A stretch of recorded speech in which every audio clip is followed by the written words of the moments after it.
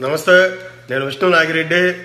Sorry నా పేరు ABK Andhra booth Kittu. So నేను రెండు వేల పంతొమ్మిది ఎలక్షన్స్ గురించి ఆంధ్ర బూత్ కిట్టుగా నా సర్వే ఇచ్చాను. ఆ సర్వేలో తెలుగుదేశం పార్టీకి వందకు పైగా స్థానాలని వైసీపీ పార్టీకి అరవై దగ్గర దగ్గర యాభై ఐదు అరవై అంటే అరవై దాకా ఇచ్చాను. అలాగే ఇతరులు కలిపి ఒక ఐదారు స్థానాలు ఇచ్చాను.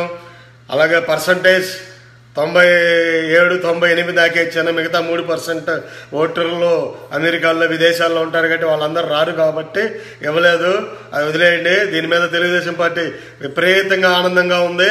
మేము చెప్పింది తొంభై ఐదు నుంచి వందే చెప్పు అంటే నువ్వు ఏకంగా వందకి పైగా ఇచ్చావని చెప్పి అందరూ అప్రిషియేట్ చేస్తూ ఉన్నారు. వాళ్ళందరూ చాలా ఆనందపడిపోతూ ఉన్నారు. ఎందుకంటే ఇప్పుడున్న పరిస్థితుల్లో ఇరవై ముప్పై స్థానాలు కూడా తెలుగుదేశం పార్టీకి రావు అనుకుంటున్న తరుణంలో కార్యకర్తలు కానీ నేతలు కానీ లీడర్లు కానీ అందరూ డేలా పడిపోతున్న తరుణంలో నేను ఇచ్చినటువంటి ఈ సర్వే ప్రతి ఒక్కళ్ళు ఉత్సాహం కలిగిస్తుందని నమ్ముతా ఉన్నాను. అలాగే తెలుగుదేశం పార్టీ వాళ్ళు ఆనందపడతా ఉన్నారు. కానీ మిగతా పక్షాలు ప్రతిపక్షాలుగా ఏవైతే ఉన్నాయో వైసీపీ పార్టీ కానీ జనసేన పార్టీ కానీ కొన్ని ప్రశ్నలు సంధిస్తున్నారు. వారి ప్రశ్నలకు నా సమాధానం ఇవ్వాలా? ఆంధ్ర బూత్ కిట్టు నేను మళ్ళీ చెప్తా ఉన్నా. నా పేరు ఆంధ్ర బూత్ కిట్టు ఏబీకే గుర్తుపెట్టుకోండి నా క్వశ్చన్ మొట్టమొదటి క్వశ్చన్ వాళ్ళు అడిగింది ఎంతమంది దగ్గర ఈ సర్వేని మీరు స్వీకరించారు ఈ క్వశ్చన్ నన్ను అడిగారు నా ఆన్సర్. ఎంతమంది దగ్గర సర్వే సేకరించేది ఏంది ముబ్బు మొహాలారా ఒకరిని అడిగే అవసరం నాకేంది? మేము మా పార్టీ ఇంటర్నల్గా డిస్కస్ చేసుకుంటాం. మాకు ఛానల్ ఉంది మాకు పేపర్ ఉంది మా ఇష్టం వచ్చిన రాతలు మాకు ఏదైతే ఉపయోగపడిద్దో అదే ఇస్తాం. ఒకరిని అడిగే కర్మ మాకేంది? గుర్తుపెట్టుకోండి. నెక్స్ట్. వైజాగ్ తూగో పాగో ముఖ్యంగా జనసేన వల్లే మీరు గెలిచారు. అన్ని సీట్లు రా వచ్చినాయని ప్రతి ఒక్కళ్ళు చెప్తా ఉన్నారు. ఆఖరికి మీ పార్టీ వాళ్ళు కూడా చెప్తా ఉన్నారు కదా. మరి అసలు అక్కడ కూడా అన్ని మీరే తీసుకున్నారు. ఈసారి కూడా కళ్యాణ్ గారికి కానీ వీళ్ళకి కానీ ఏమీయకుండా అంటే దాని మీద మా ఆన్సర్ అది నిత్య సత్యం. మీరు చెప్పింది వైజాగ్ తూగో పాగోల్లో కళ్యాణ్ గారి వల్ల గెలిచామన్నది సత్యం. కానీ అవన్నీ బయటికి చెప్తామా? బుద్ధుండాలా మీకు అడగడానికి అయ్యి? ఎవరో వల్ల గెలిచామనేది మేము అన్ని చెప్పాం. మాకు ఆ టైంలో ఏదనిపిస్తే తూగో పాగో కాదు రాయలసీమ కడపలో కూడా గెలవబోతాం కా- అవసరమైతే. అది గుర్తుపెట్టుకోండి. నెక్స్ట్ సర్వేలో కడపలో కూడా మాదే అని చెప్పేస్తాం. అది గుర్తుపెట్టుకోండి. ఎక్కడైనా అన్ని మాయే అంటాం. నెక్స్ట్. జంపు జలానీలు.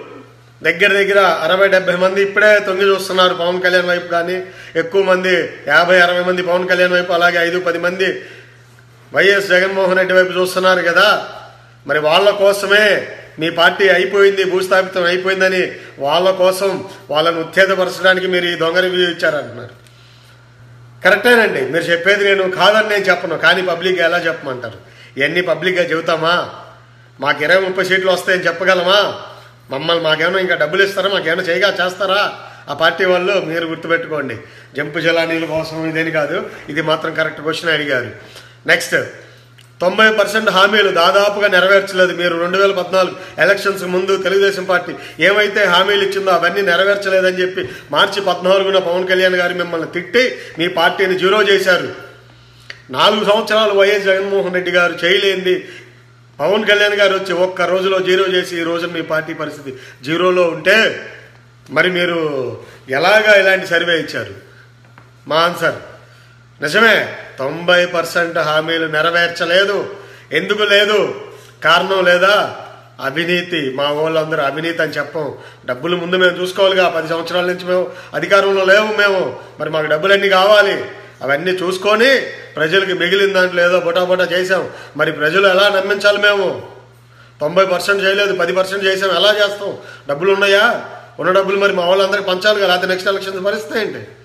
సో పది పర్సెంట్ చేశాంగా పది పర్సెంట్ మీద మేము ఓట్లకు వెళ్తాం. దాన్ని బట్టి మా ప్రయత్నాలు మేము చేసుకుంటా వెళ్తాం. నెక్స్ట్ క్వశ్చన్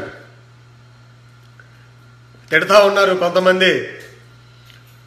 నెక్స్ట్ ఏంటి? మీ నెక్స్ట్ స్టెప్ ఏంటి అని అడుగుతా ఉన్నారు. పవన్ కళ్యాణ్ గారి మీద విద్రోహమైన చర్యలు చేయబోతున్నారంట. నెక్స్ట్ ఏంటి అని. చాలా చేయబోతా ఉన్నాం. అన్ని చెప్పం. వాటిల్లో కొన్ని మచ్చుకే పవన్ కళ్యాణ్ గారు మీటింగులు పెడితే ఆ మీటింగుల్లో మా వాళ్ళు వెళ్ళి పవన్ కళ్యాణ్ గారు మా వాళ్ళు అంటే మా పార్టీకి సంబంధించినటువంటి మహిళా నేతలను పంపించి కళ్యాణ్ గారిని తిట్టించే ప్రయత్నాలు చేస్తాం. అలాగే సర్వేలు ఇలా వదులుతాం. ఇలాగే కత్తులు చీదొడ్డులు ఇలాంటి వాళ్ళు చాలా మంది వస్తారు. అందరికి కూడా అందరి చేత తిట్టిస్తాం. రచ్చరంబోలో చేస్తాం. అన్ని చేయాలో అన్నీ చేస్తాం.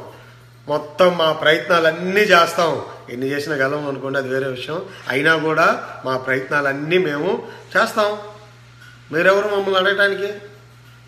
నెక్స్ట్ నీకు బుద్ధి ఉందా సిగ్గుందా లబ్జ ఉందా అన్నం తింటున్నావా కోడి పెంట తింటున్నావా అనే ఇలాంటి క్వశ్చన్ అడిగారు. నేను మిమ్మల్ని అడుగుతా ఉన్నా. మీకు బుద్ధి ఉందా మీకు సిగ్గుందా మీరు అన్నం తింటున్నారు ఇంకేమైనా తింటున్నారు? ఎందుకంటే సాక్షాత్తు పవన్ కళ్యాణ్ గారే చెప్పారు ఇలాంటి ఛానళ్ళు చూడకండి బ్యాన్ చేయండి అని.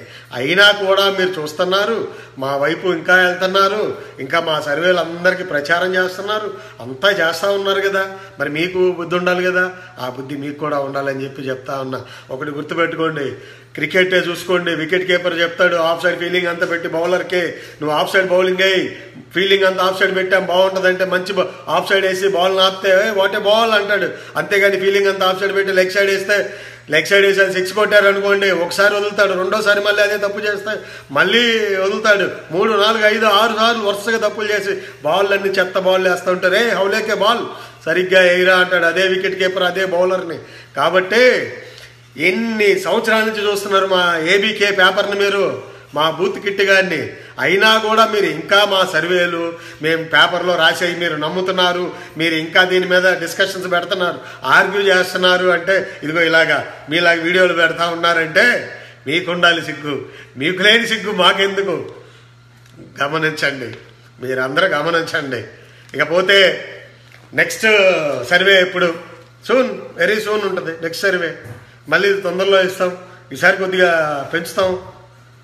మా వాళ్ళు అన్నారు కొంతమంది అరే మరీ జనసేనకి ఇతర పార్టీలకి బీజేపీ జనసేన సిపిఐ సిపిఎం అందరు కలిపి నువ్వు నాలుగో ఐదో ఇచ్చావంటన్నా మరీ ఇది అన్యాయం కనిపించట్లేదా అరే మీకు చెప్తా ఉన్నా ఒకసారిగా పదో ఇరవై ఇచ్చామంటే ఈసారి ముప్పై నలభై యాభై ఎలక్షన్స్ వచ్చేసరికి కంప్లీట్గా వాళ్ళకి ఇవ్వాల్సి వచ్చింది. కాబట్టి గుర్తుపెట్టుకోండి. చిన్నగా పెంచుతాం ఒకసారి పెంచొద్దు. అప్పట్లో రెండు పర్సెంట్ అన్నాం. రెండు నుంచి ఇప్పుడు పది పర్సెంట్ దాకా ఇచ్చాం.